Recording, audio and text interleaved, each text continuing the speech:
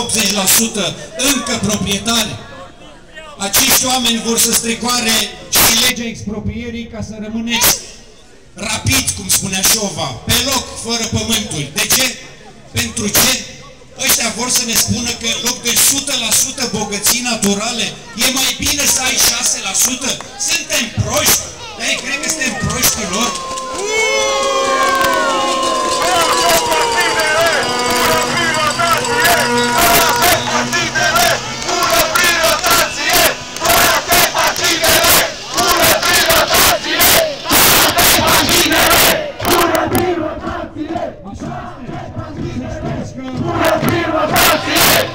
Politicienii, ăsta e adevărul, dacă vreți.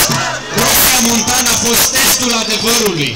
Roșia Montană a făcut de rest toată clasa politică. S-au compromis cu toții, cu argumente.